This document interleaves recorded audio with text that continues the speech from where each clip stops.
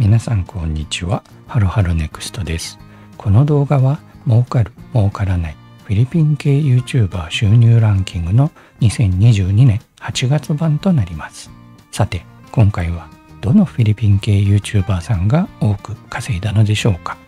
かなり予想外の結果となっていますのでお楽しみに。さてこのランキングを行うにあたりリーグ分けをしています。名付けてフィリピンリーグ P リーグです。P リーグには3つのカテゴリーが存在します。P1 はトップカテゴリーでチャンネル登録者数が1万人以上のフィリピン系 YouTuber さんが競います。P2 はチャンネル登録者数が3000人以上1万人未満のフィリピン系 YouTuber さんが競います。そして最後の P3 はチャンネル登録者数が3000人未満のフィリピン系 YouTuber さんが競います。このランキング動画では視聴者さんから教えていただいたフィリピン系 YouTuber さんのデータを集計しています。このランキングから漏れているフィリピン系 YouTuber さんのチャンネルをご存知の方がいましたらコメント欄などで教えていただけましたら幸いです。自分のチャンネルが入ってないよとかのご連絡でももちろん構いません。各 YouTube チャンネルの収入データはソーシャルブレードの直近1ヶ月分のデータを使用しています。ランキング表示についてはプローリッシュを使って可視化しています。詳しく知りたい方は過去動画を見ていただけましたら幸いです。フィリピン系 YouTuber の方でもし実際の収益とかなり違うとか気になる点がありましたらご連絡いただけましたら幸いです。コメントやメール、Twitter、LINE などいずれの方法でも構いません。このように不確定要素の多い収入データですので表示されている収入やランキング結果の表示はあくまでも参考情報として動画を楽しんでいただけましたら幸いです。それでは早速 P3 リーグのランキング結果から見ていきましょう。今回の P3 リーグは合計16のチャンネルが参加しています。ちなみに今回から全リーグで1点だけルール変更を行っています。参加いただいているチャンネル数がかなり増えてきましたので、毎月の収入が1000円未満のチャンネルに関しては、ランキング表示の対象外とさせていただきます。さて、それではランキング表示の説明をさせていただきます。チャンネル名の右側にカッコで書いてある数字が各チャンネルのチャンネル登録者数となっています。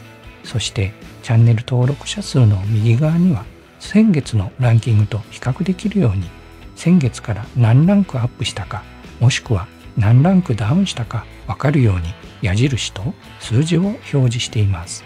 前回から変化のなかったチャンネルは0を表示しています。今回第13位にランクインされたのは MK の日本でフィリピンを楽しむチャンネルさんで収益化が完了して今回からランキング動画に参戦されています。おめでとうございます。次回も期待しています。さて、今回も前回と同様にランキングの中盤まで来ても5000円以下の収入の YouTuber さんが多い状況となっています。第7位のマニラで乾杯さんからようやく5000円を超えてきました。そして第5位の南国パラダイスチャンネルさんから7000円を超えてきました。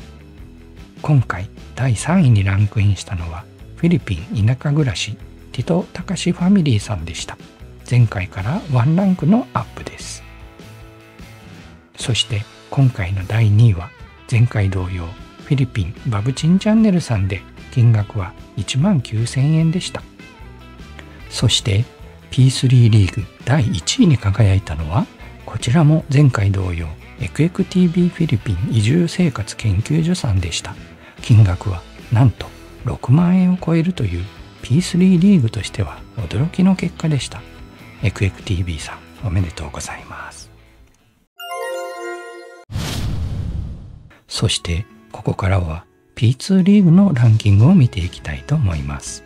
今回の P2 は合計23のチャンネルが参加しています。最も多くの YouTuber が参戦する激戦の P2 リーグとなっています。P2 リーグの中盤までは前回から大きく変わらず毎月1万円以下の YouTuber さんが多い状況となっています。第16位にランクインされたのは作権理事長さんでチャンネル登録者数が3000人を超えましたので今回から P2 リーグに昇格されています。そしてランキング15位の適当こそが一番。パピリオタカさんから1万円を超えてきました。P2 リーグ中盤勢は前回同様に2万円以下のチャンネルが多いようです。そして第10位の江戸チャンネル2フィリピンしてますか？さんから2万円を超えてきました。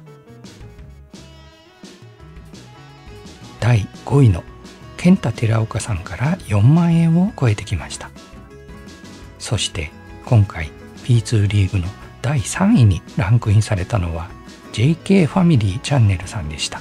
このチャンネルは以前は君チャンネルさんでしたがチャンネル名を変更されたようです。約7万円近い収入となっています。さてトップ2は一体どのチャンネルさんなのでしょうか。今回第2位にランクインされたのは吉友ぶとぶとさんでした。金額は8万円を一気に超えてきました。そしてなんと今回 P2 リーグの第1位に輝いたのはフィリピン野郎さんでした。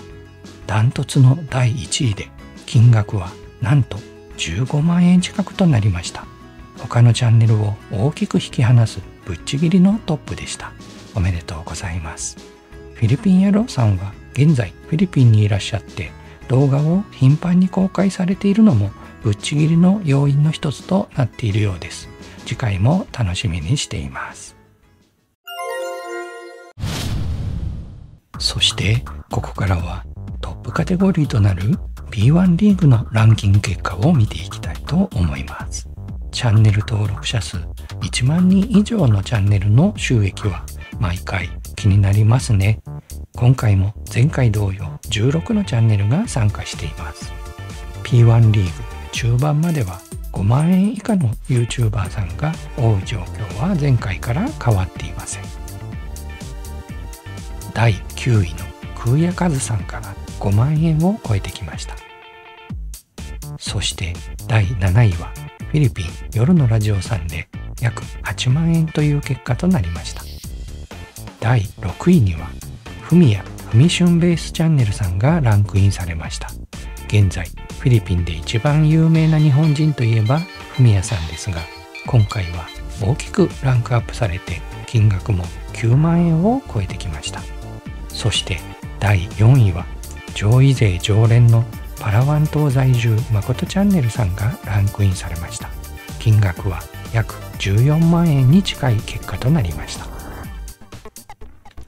3位は123ジャパンさんでした。金額は16万円を超えてきました。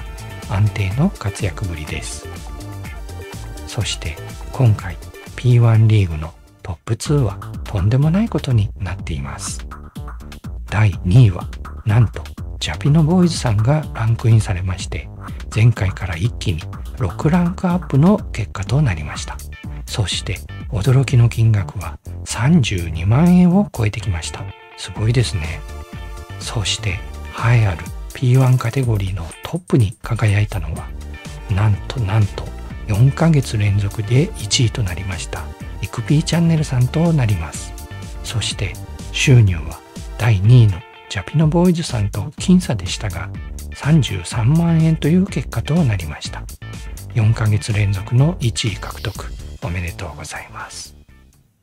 今回は円安がさらに進んだこともあって収入が増加傾向にあったように思います。次回以降の収入ランキングがどう変化していくかも楽しみですね。さて、今回のランキング結果いかがだったでしょうか？もしこれから YouTuber としてやってみたいなと考えている視聴者さんがいましたら少しでも参考になれば幸いです。